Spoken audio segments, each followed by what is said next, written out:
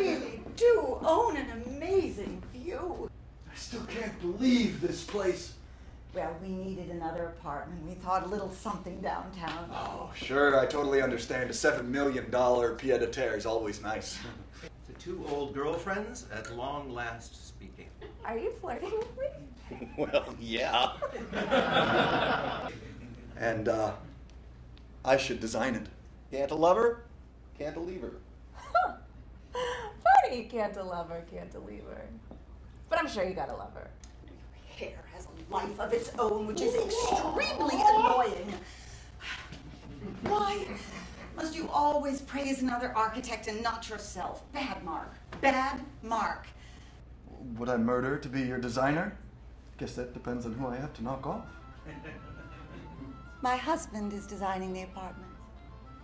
Wow. I was thinking to help Mark unstick.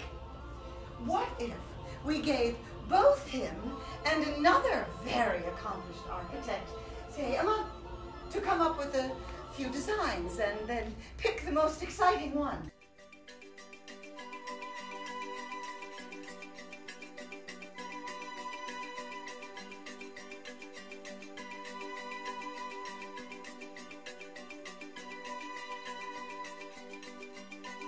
When we mean to build, first we must survey the plot, then draw the model.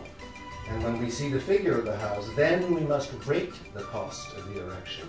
Which, if we find outweighs ability, what then must we do but draw anew the model in fewer offices, or at last desist to build at all? Did you do your best, my son? Yes, sir. Well, then, if you don't win, your best obviously isn't good enough.